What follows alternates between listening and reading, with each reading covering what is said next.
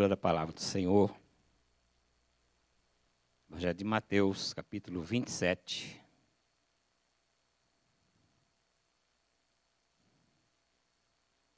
Evangelho de Mateus, capítulo 27, versos 33 a 40.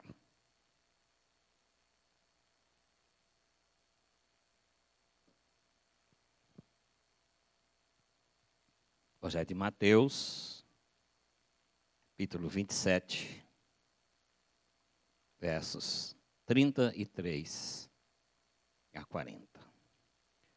A crucificação. E chegando a um lugar chamado Gólgota, que significa lugar da caveira, deram-lhe a beber vinho com fel. Mas ele, provando, não quis beber. Depois de o crucificarem, repartiram entre si as suas vestes, tirando a sorte. E assentados ali o guardavam. Por cima de sua cabeça puseram escrita sua acusação: Este é Jesus, o Rei dos Judeus. E foram crucificados com ele dois ladrões, um à sua direita, outro à sua esquerda.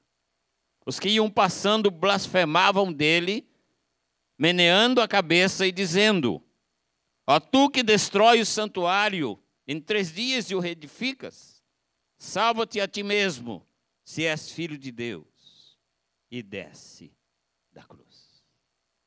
Irmãos, a base da nossa mensagem, nesta manhã, versículos 39 e 40. Eu convido a igreja a ler comigo, versos 39 e 40. Diz assim: Os que iam passando blasfemavam dele, meneando a cabeça e dizendo: Ó, tu que destróis o santuário, em três dias o reedificas.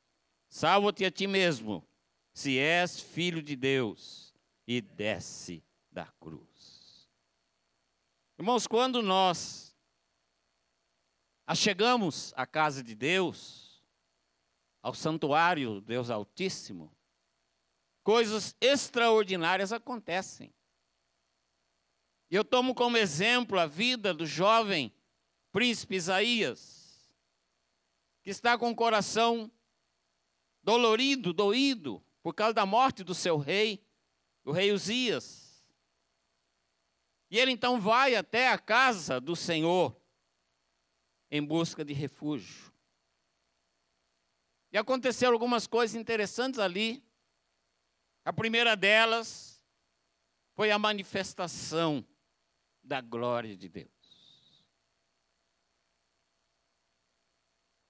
Ele viu e sentiu o templo cheio por uma fumaça muito especial.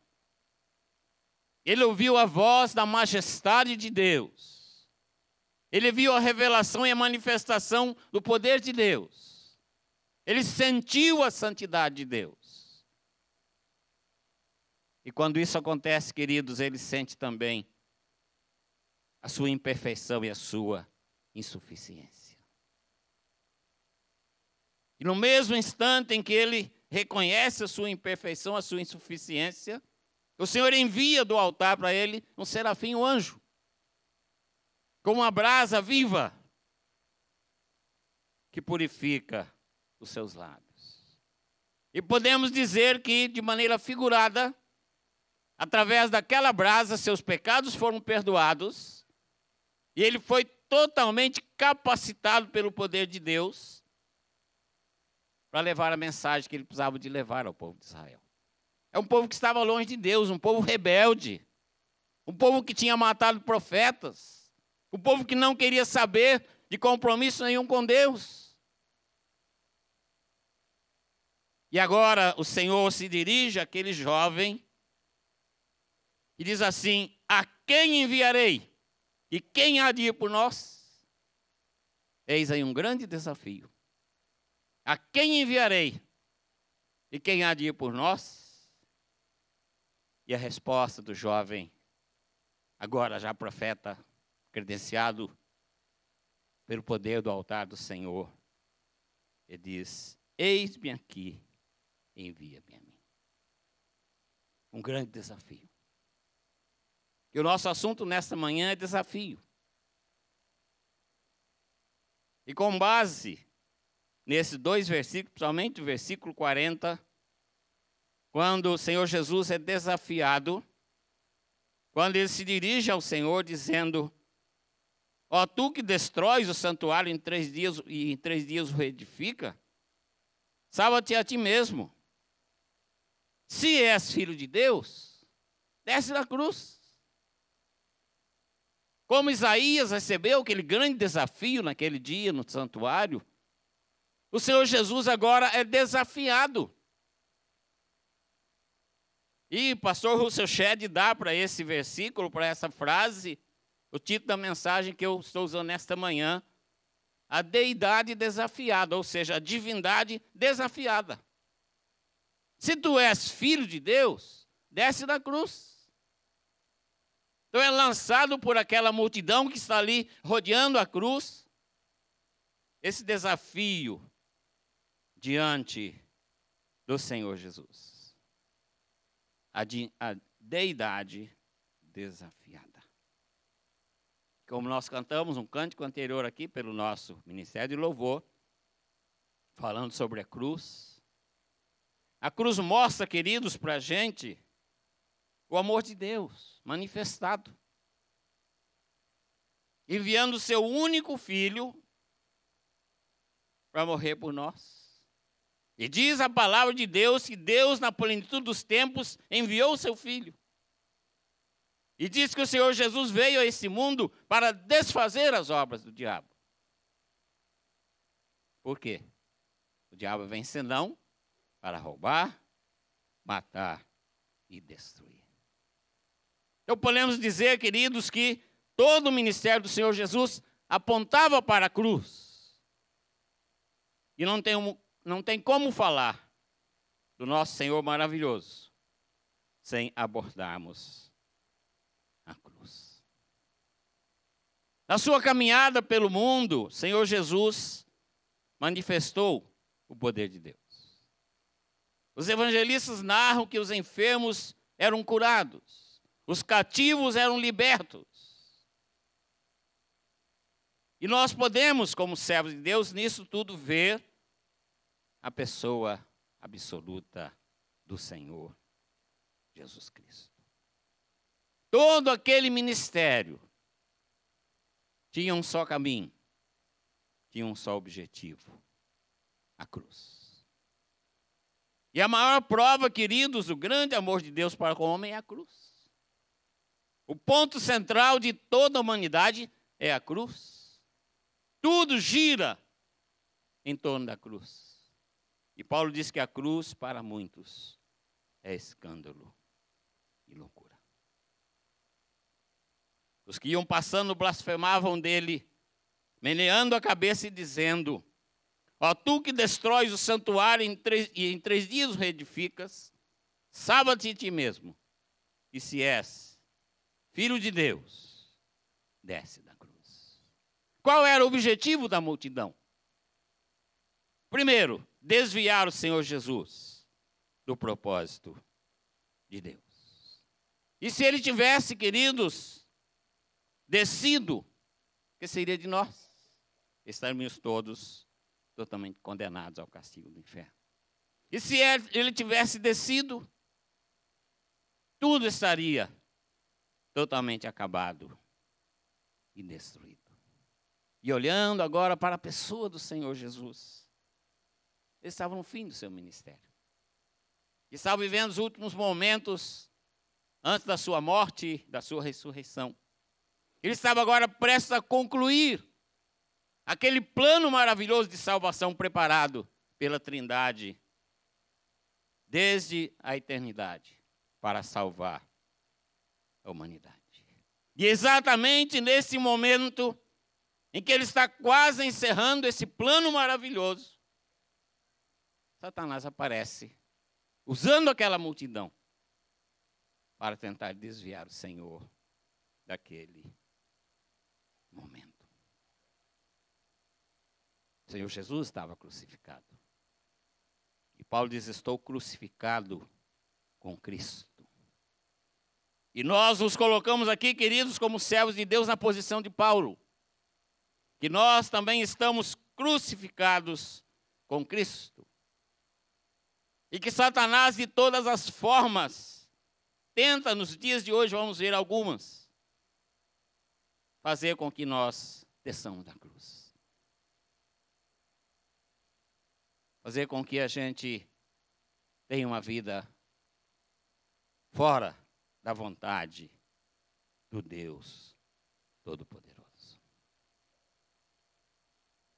O que é permanecer na cruz? Meu sermão tem só dois pontos nessa manhã, tá? Eu fugi um pouquinho da, do nosso presbiterianismo, mas tem muitas subdivisões. A primeira, então, o que é permanecer na cruz? E a primeira resposta, permanecer na cruz, é estar na perfeita vontade de Deus. E o Senhor Jesus executou todo o seu ministério dentro desta perfeita vontade de Deus. Quando ele está ali, João capítulo 4, evangelizando a mulher samaritana, e os discípulos chegam trazendo comida, e o questionam, porque ele estava com fome, e diz assim: A minha comida consiste em fazer a vontade daquele que me enviou e a realizar a sua obra. Esta é a perfeita vontade de Deus na vida do Senhor Jesus Cristo. E nós vemos também, queridos, ali um pouco antes, ali no Getsemane, as duas vontades confrontadas. O Senhor Jesus está ali orando, dizem os evangelistas que ele estava assim, a tal ponto envolvido com aquele momento, que o seu suor se transformou em gotas de sangue. E ali estão as duas vontades. O Senhor Jesus ora. Adiantando-se um pouco, diz Mateus 26, 39 e 42. Adiantando-se um pouco, prostou-se sobre o seu rosto, orando e dizendo: Meu pai, se possível, passa de mim esse cálice. Todavia, não seja como eu quero, e sim como tu queres. Versículo 42. Tornando-se a retirar-se, orou de novo, dizendo: Meu pai, se não é possível passar de mim esse cálice sem que eu beba, faça-se a tua vontade. Então nós temos aqui o confronto de duas vontades. A vontade de Jesus humana, o Jesus que estava sofrendo, o Jesus que sabia o quanto ia custar a cruz, o Jesus que sabia o sofrimento que ele ia passar. Diz, Pai, se possível, me livra desse momento. Essa é a minha vontade, a vontade humana. Mas que seja feita a tua vontade. É como se o Senhor Jesus dissesse Pai, eu não quero interferir na vontade do Senhor. Porque a vontade do Senhor é perfeita. Então, esse, irmãos, é o primeiro ponto da nossa primeira divisão. Permanecer na cruz é estar na perfeita vontade de Deus. Isto é o que? É estar crucificado com Cristo. Isto é submissão de vida à vontade do Pai Celestial. Que nós estejamos nos vigiando para que a nossa vontade não ocupe a vontade de Deus na nossa vida. Senão nós vamos ser, vamos ter muitos prejuízos na nossa vida. Se a nossa vontade tomar a vontade de Deus na nossa vida. Então, permanecer na cruz é estar na perfeita vontade de Deus. As permanecer na cruz também é estar, ou seja, significa renúncia. Permanecer na cruz significa renúncia. A palavra renúncia significa recusar, não querer, desistir de alguma coisa. Então, queridos, a palavra renúncia, ela é muito forte. Porque muitas vezes alguém diz para fazer isso, você tem de renunciar isso. A gente já torce o nariz, né? Fala, mas renunciar? É tão difícil renunciar. Estar na cruz significa renúncia. E se eu desejo, você deseja, nós desejamos ter uma vida cristã produtiva, é necessário, ela vai requerer de nós renúncia. Qual foi a colocação de Jesus, aquele jovem rico que era um super crente? Vai, vende tudo o que tens, dá aos pobres, vem e siga-me. Isto é renúncia. Então, permanecer na cruz significa renúncia. E um exemplo de renúncia humano é o próprio apóstolo Paulo. Quantas renúncias ele teve de fazer para poder estar dentro da vontade de Deus, para poder permanecer na cruz? Estou crucificado com Cristo. O que significa estar na cruz, estar crucificado? Significa recusar as propostas do mundo recusar as propostas do mundo. Ah, queridos, hoje mais do que nunca, mais do que nunca, as propostas vêm de muitas formas. Estava ontem conversando com o Cristiano, meu genro, e a gente conversando sobre o preço das coisas, principalmente a gasolina, né? Sobe um dia, sobe outro dia, terceiro dia sobe também, né? E a gente não sabe onde a gente vai parar. Aí eu brinquei com ele e falei, acho que o governo está pensando que a gente é corrupto que a gente tem muito dinheiro guardado, né? 51 bilhões e tanto guardado por aí. Pode pôr gasolina à vontade.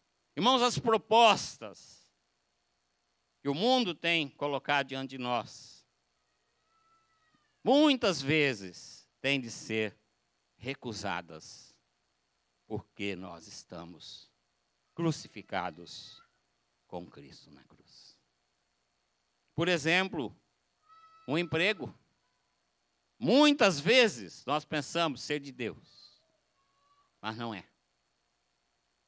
Muitas vezes pessoas que estão à nossa volta fazem propostas usadas pelo inimigo sem saber para nos tirar da vontade de Deus.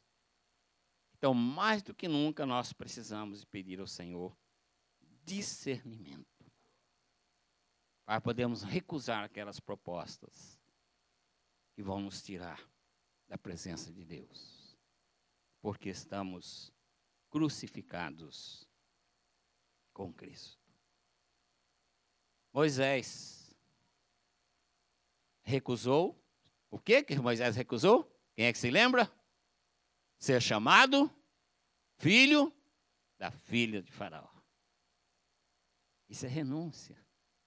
Isso é recusar propostas que o mundo está fazendo. Estar na cruz significa recusar os desejos da carne. O apóstolo Paulo aborda isso muito bem, dizendo assim em Gálatas 5,17: porque a carne luta contra o espírito e o espírito contra a carne, e esses se opõem um ao outro, para que não façais o que quereis. Então há uma guerra, queridos, dentro de nós, da carne contra o espírito. O que, que o espírito quer? O espírito quer orar, jejuar, buscar a Deus, ter uma vida consagrada. Mas aí vem a carne e diz assim: é melhor você dormir do que orar. É melhor você se empanturrar de comida do que fazer jejum. É melhor você se divertir do que buscar uma vida consagrada e piedosa. Isso é uma luta dentro de nós. Os irmãos podem ter certeza que isso acontece diariamente. Entre isso e aquilo. Então nós precisamos estar atentos para recusar os desejos da carne. Tenho de controlar meus desejos, que são muitos. Uso aqui dois exemplos bíblicos. Primeiro exemplo de Eva. Diz Gênesis 3,6: Vendo a mulher que a árvore era boa para se comer, agradável aos olhos, e árvore desejável para dar entendimento, tomou-lhe do fruto e comeu. E deu também ao marido. E ele comeu. Nós percebemos, queridos, que já havia no coração de Eva um desejo de comer. E ela não resistiu a esse desejo. Ela não recusou esse desejo. E ela comeu. Outro exemplo também de Caim, na mesma família. Por que Caim matou Abel? Porque já havia no seu coração esse desejo. E ele não recusou esse desejo. Pelo contrário, ele alimentou esse desejo. E acabou matando o seu próprio irmão. Igreja do Senhor Jesus Cristo, tudo nasce de um desejo que não foi controlado. Satanás sabe o nosso ponto fraco. Ele olha para Márcio, ele olha para Cristiano, ele olha para o pastor Fábio, ele olha para o pastor Camargo, ele olha para o Helder, ele sabe o nosso ponto fraco. E exatamente ali é que ele vai investir. Porque ele quer que a gente desça da cruz. Estamos crucificados com Cristo. Satanás quer que a gente desça da cruz para causar aborrecimento no nosso Deus Todo-Poderoso. Estar na cruz significa também desistir de algo que não está na vontade de Deus. Quantas vezes, queridos, nós oramos, oramos, oramos e oramos e não acontece nada. E muitas vezes é porque não é a vontade de Deus que a gente está pedindo. A gente continua insistindo, continua insistindo, e começa a murmurar, e começa muitas vezes até a blasfemar contra Deus, porque não responde às nossas orações. Tem pedido discernimento. Senhor, é a tua vontade? Se não é, tira isso do meu coração, tira isso da minha mente. Ele vai tirar. Por quê? Você está crucificado com Cristo. Ele vai agir no seu coração. Estar na cruz significa não querer se contaminar. Estar na cruz significa não querer se contaminar. Daniel capítulo 1, verso 8, eu estava vendo nossos dois Daniéis aqui na frente hoje, lembrando o texto, né? Daniel Diácono e Daniel, nosso músico. Daniel 1,8 diz assim: Resolveu Daniel firmemente não contaminar-se com as finas iguarias do rei, nem com o vinho que ele bebia. Então pediu ao chefe dos eunucos que lhe permitisse não contaminar-se. Irmãos, é difícil. Uma terra estranha, cercado de todas as mordomias dentro do palácio. Mas diz o texto que Daniel decidiu firmemente não se contaminar, porque ele sabia que aquelas iguarias do rei eram consagradas aos demônios. E ele, como um servo de Deus, como uma pessoa comprometida com o Senhor, disse: Não vou me contaminar. Meu Deus merece essa decisão. E isso, queridos, é uma decisão muito pessoal. É uma decisão muito pessoal. E eu desafio a igreja, como fui desafiado nesta semana quando trabalhava esse texto, a não nos contaminarmos com as coisas deste mundo. Porque estamos crucificados com Cristo. Satanás está dizendo para você: desce da cruz. Aqui embaixo é tão bom, aqui é tão gostoso, né? Desce para cá. Aqui tem coisas maravilhosas para você como Daniel, decidiu firmemente, diz o texto, não se contaminar. Que essa seja a sua e a minha decisão nesta manhã. Mas estar na cruz significa deixar o Espírito Santo me guiar. Que coisa maravilhosa. Estar na cruz significa deixar o Espírito Santo me guiar.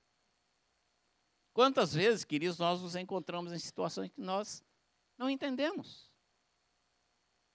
E veio à mente, enquanto preparava esta mensagem, uma experiência que eu vivi em 1991. A gente que não tinha nascido ainda, né? A gente estava vivendo assim um momento espiritual muito bom lá no, no Vale do Aço. Cruzadas, congressos, igrejas nascendo, de uma das nossas cruzadas nasceram duas igrejas com pessoas novíssimas. Mas o inimigo não deixa de atacar a gente. Uma bela manhã como hoje, eu reuni a igreja toda em classe única e falei, eu vou falar hoje sobre batalha espiritual. Meus irmãos, que coisa difícil a gente cutucar o diabo. Como diz o povo, com vara curta ainda. O clima estava tenso dentro da igreja. E eu jejuei sábado o dia todo. Eu falei, Senhor, é negócio é difícil, é batalha mesmo. E eu sei que eu vou ter problema a hora que estiver ministrando. Eu conheci o coração do meu rebanho. Eu falei, fulano, fulano e fulano, com certeza vai se levantar e vai se debater contra mim, vai me questionar. Então, o Senhor me dá sabedoria. E eu cheguei lá no púlpito, todo com a perna tremendo, igual estava hoje. Falei com o pastor, a perna está tremendo. Toda vez que a gente vem ao púlpito, a perna treme por causa da responsabilidade. E em dado momento, queridos, nós estávamos tendo de manhã, de seis e meia, sete e meia, como a gente tinha aqui, reunião de oração. De segunda a sexta. E eu senti que, com o passar do tempo, os nossos oficiais deixaram de vir à reunião. Diáconos e presbíteros. Eu usei uma expressão dizendo assim: nem todos os nossos oficiais têm vindo à reunião de oração de manhã. Aí o presbítero estava sentado ali, mais ou menos, tá o Mário Sérgio, levantou e veio para mim no meu rumo. Falei, meu Deus do céu, agora eu apanho. E veio bravo. O pastor está mentindo, o senhor é mentiroso. Eu falei, por que, meu irmão? O que, é que eu disse de mentira? Ele falou, o senhor disse que nem. O senhor disse que os oficiais não vêm à reunião de oração. Eu falei, eu não falei isso. Falei, a igreja é testemunha disso. Falei que nem todos. Não falei que todos.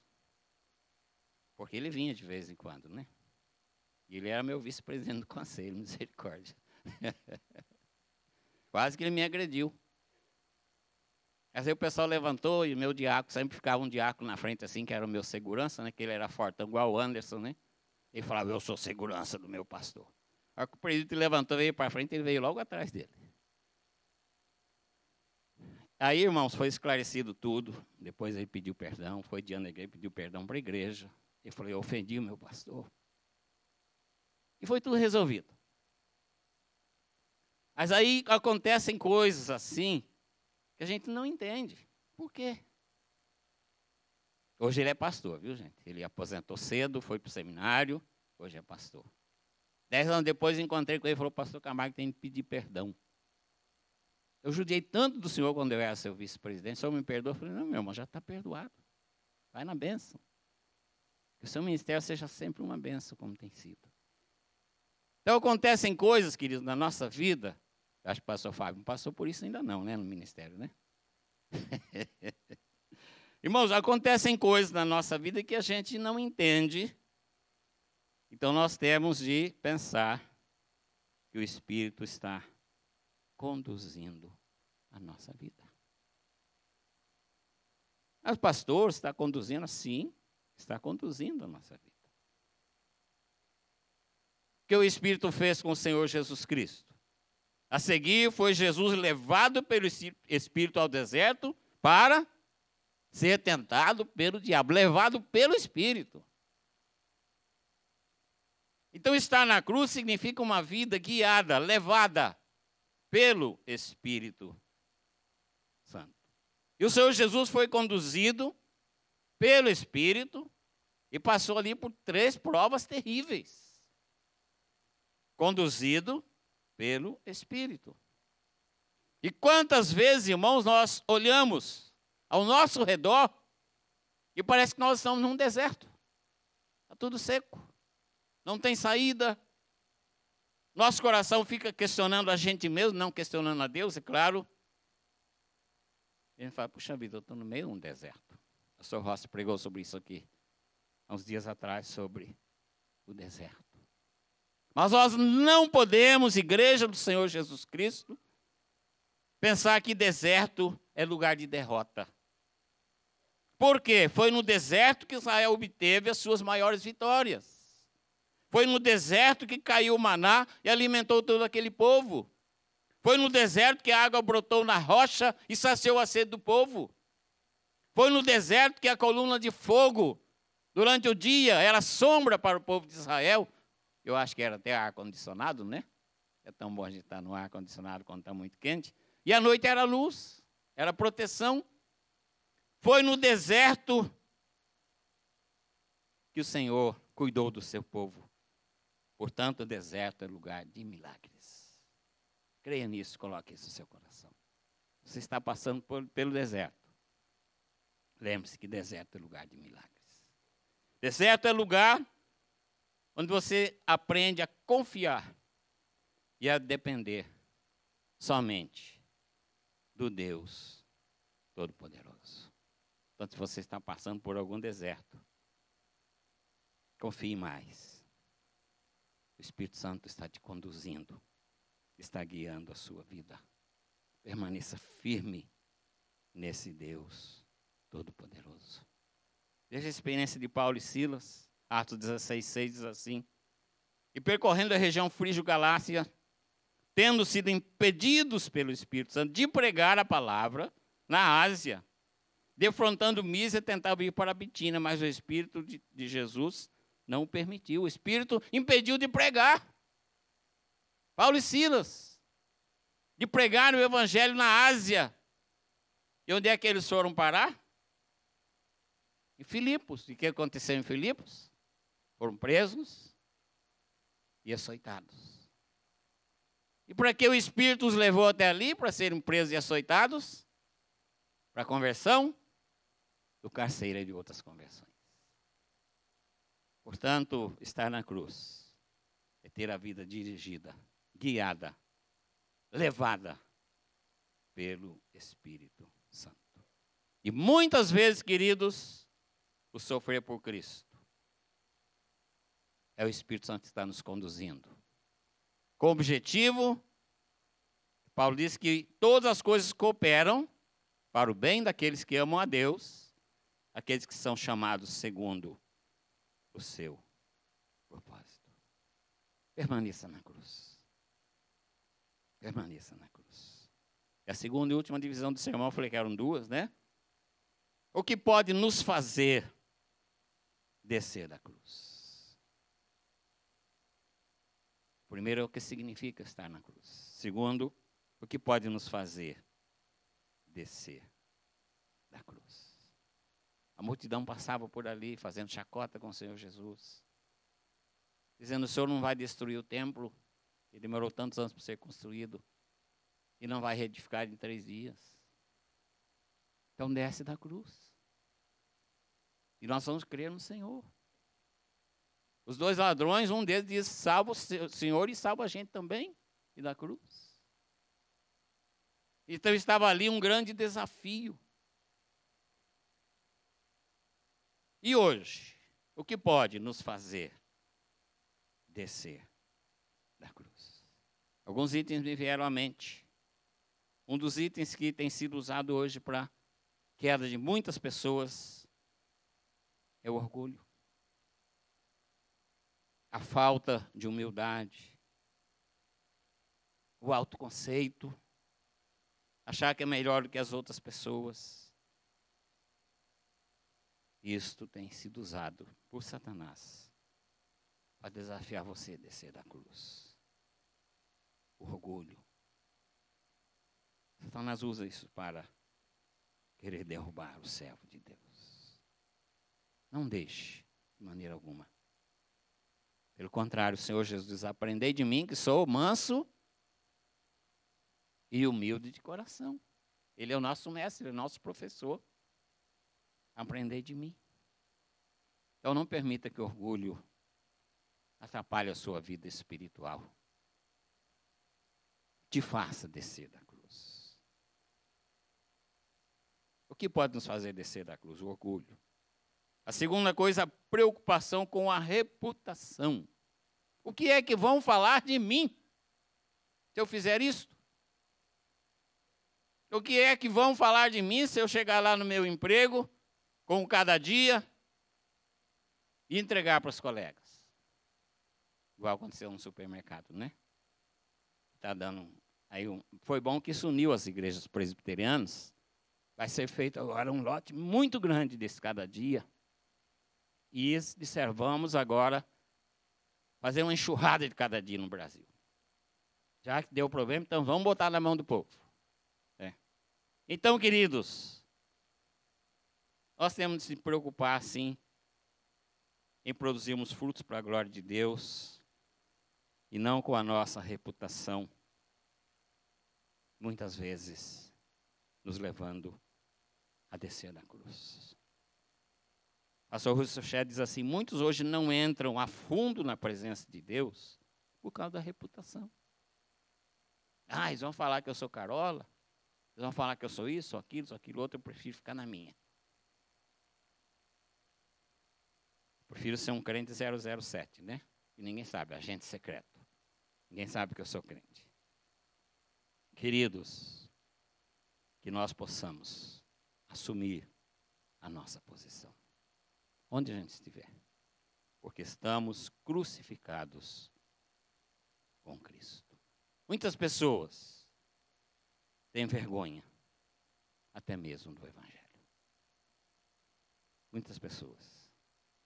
Contei para os irmãos aqui a minha experiência na IBM e outra experiência que eu vivi lá dentro. É que esse menino que me levou para lá foi meu amigo de infância. Ele era engenheiro lá dentro. E quando ele me apresentou para o nosso grupo menor, é um grupo mais ou menos 20 pessoas, ele falou: agora você está com a palavra, pode falar com seus colegas de trabalho. Eu disse a ele: olha, eu sou o primeiro lugar, sou um servo de Deus. Eu vim aqui para trabalhar só seis meses, cumprir um contrato. E vou fazer isso da melhor maneira possível, porque eu tenho um compromisso com Deus. Eles não me, vão me ver enrolando por aí. Tinha um grupinho que ia para a sala de tomar café e tomava café quase o dia todo e não trabalhava. Né? Eu tomando café, fumando e conversando. Falei, vocês não me vão me ver fazendo isso, porque eu estou aqui para trabalhar. Eu falei, meu maior compromisso é com Deus. Eu sou um servo de Deus. Estou me preparando para ir para o seminário. Aí esse meu amigo José Marcos falou, oh, eu também sou crente, viu? Aí os outros falaram, mas você nunca mostrou isso para a gente. Pois é, Marcos, que vergonha. Que misericórdia, que vergonha. E a partir daquele dia ele assumiu a posição dele.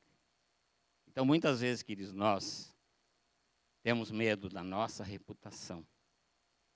E nós envergonhamos e temos vergonha do Evangelho o que faz nos descer da cruz complexos. Pessoas complexadas têm um grande problema para ir para a cruz ou permanecer na cruz. Por quê? Por causa da baixa estima.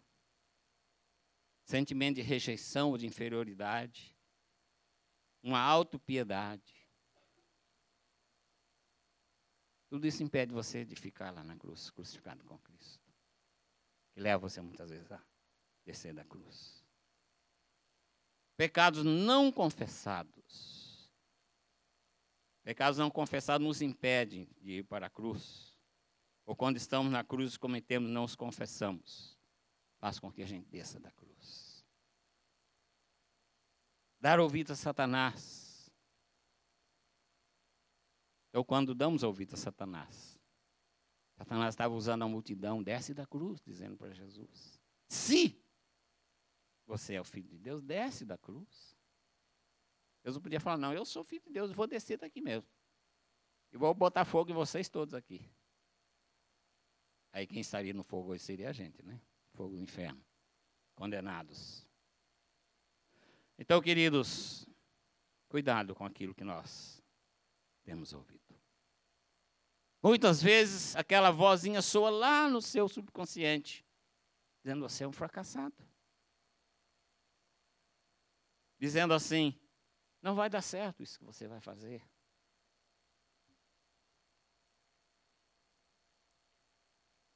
Não está dizendo, não tem mais jeito, é assim mesmo, você é assim mesmo. Meu queridos, não dê ouvidos a Satanás. Porque o objetivo dele é gerar dentro de você incredulidade, é gerar dentro de você dúvidas. Os nossos ouvidos têm que estar atentos à palavra de Deus. É aquilo que o Senhor fala conosco.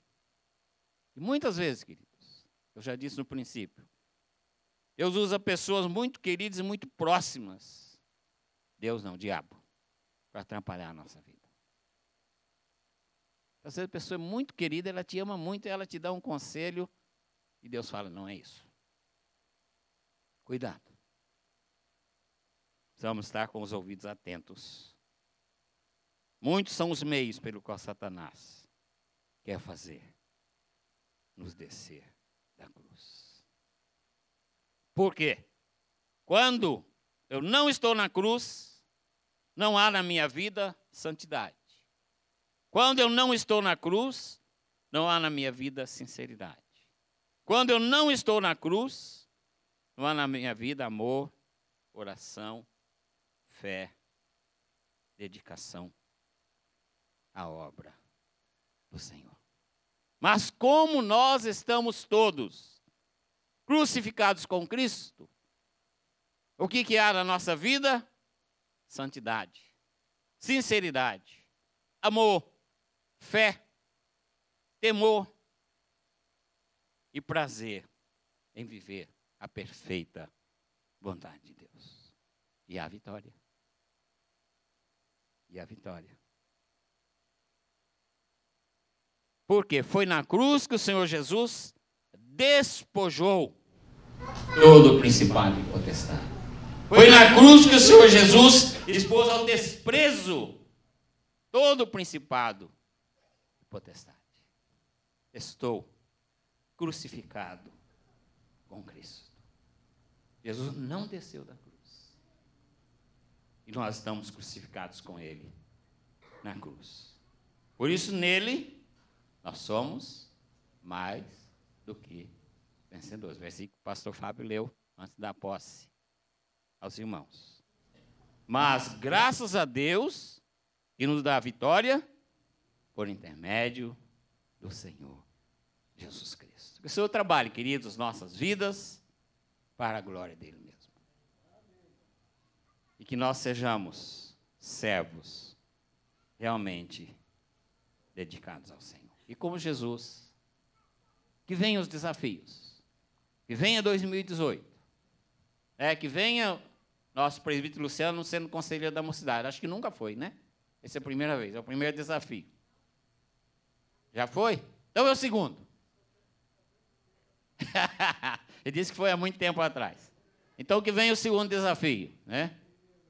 Nós temos alguém que procurou e falou: olha, eu nunca trabalhei com adolescente, mas se precisar de mim, eu vou trabalhar. Amém. Desafios. É, Márcia Aline tem um desafio grande aí com equipe de música. João Batista mais a Ana tem desafio com o nosso grupo de casais. E são tantos desafios. Você está crucificado com Cristo. Aceite os desafios e seja mais do que vencedor por meio daquele que nos amou e a si mesmo se entregou por nós. Vamos orar?